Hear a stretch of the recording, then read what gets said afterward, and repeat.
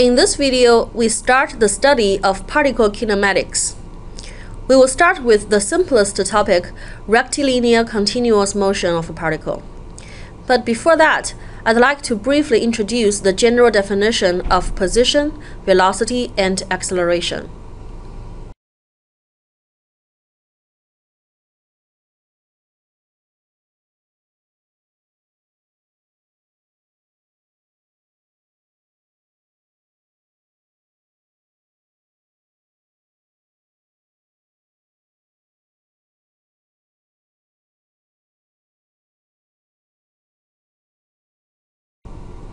If you recall from the statics course, the position of a particle can be represented by the position vector. To do that, we need to first establish a reference coordinate system. In this case, a 3D XYZ rectangular coordinate system. The particle now has coordinates of XYZ, and the position of the particle is represented by a vector r that is drawn from the origin to this particle. This position vector r is written in Cartesian form as xi plus yj plus zk. Here, i, j, k are the unit vectors along the x, y, z axes respectively. As long as there's motion within the same coordinate system, position is a function of time.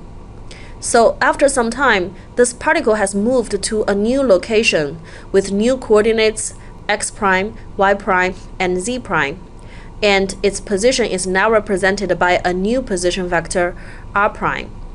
The change in position of this particle, which is r prime minus r, is defined as the displacement.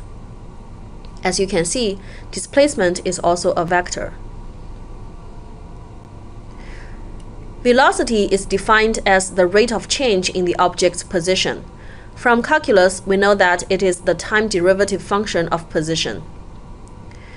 Acceleration is defined as the rate of change in the object's velocity, so it is the time derivative of velocity or the second derivative of position.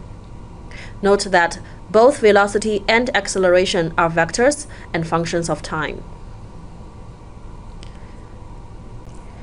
Now let's look at rectilinear continuous motion. Rectilinear means that the path of motion is a straight line. So again, we want to set up a coordinate system so we can describe the positions of the particle using position vectors. But since it is a rectilinear motion, we can simply set up a one-dimensional axis along the path, choose the origin to be a convenient point, and represent the positions using vectors drawn from the origin. S1, s2, etc.